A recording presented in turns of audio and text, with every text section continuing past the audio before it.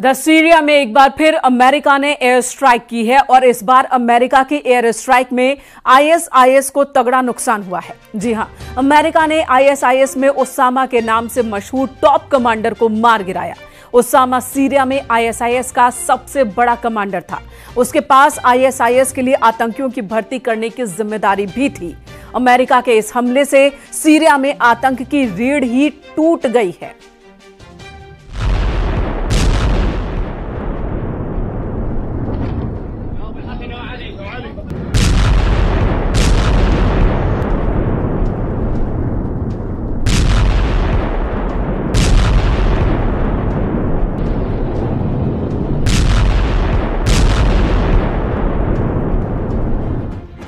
शांत पड़े इलाके में अचानक एक जोरदार धमाका होता है और जब धुएँ का गुबार छटता है तो पता चलता है कि टारगेट के चीथड़े उड़ चुके हैं।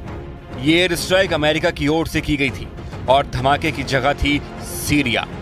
मारा गया आईएसआईएस का ओसामा। सीरिया में अमेरिकी एयर स्ट्राइक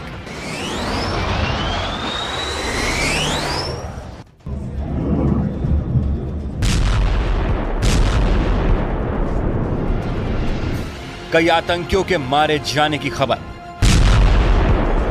अमेरिकी सेना ने दावा किया है कि रविवार को सीरिया में उन्होंने हवाई हमले में आईएसआईएस के ओसामा को मार गिराया है।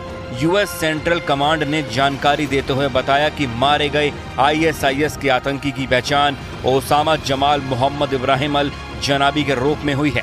अमेरिकी सेंट्रल कमांड ने सोशल मीडिया एक्स पर पोस्ट शेयर करते हुए कहा कि सीरिया में 16 जून को यूएस सेंट्रल कमांड ने सीरिया में हवाई हमला किया, जिसमें आईएसआईएस के एक वरिष्ठ अधिकारी Osama Jamal Mohammed Ibrahim al Janabi की मौत हो गई।